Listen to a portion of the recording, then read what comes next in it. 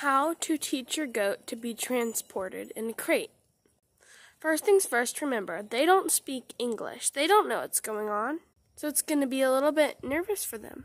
Going to want to use some type of food incentive. So here I'm using Babe's breakfast hay. So she's in here until she finishes most of her hay. On the first day of training, you're going to want to only leave them in there for about 10 minutes. And then you're going to want to progress into longer periods of time they're going to be in that crate. Once they're pretty comfortable in their crate, you're going to want to load them up in the back of the truck with the crate. When they're in the crate, do a 10 minute drive and then reward the goat once you get back home. And do longer and longer drives like that to get them overall more comfortable. I'll make more videos in a couple weeks with my traveling experience with goats. Comment below your questions.